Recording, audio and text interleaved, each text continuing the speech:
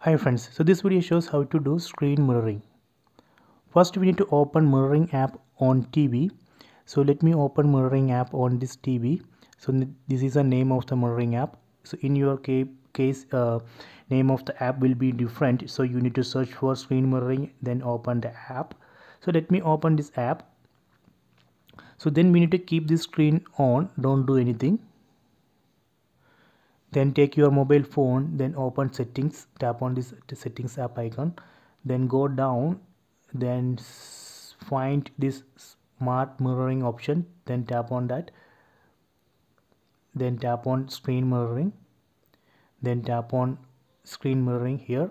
Here we can tap here and enable that screen mirroring. So you can see now it's searching for devices nearby devices so please wait. Now here you can see the name of the TV tap on that. So now it's connecting.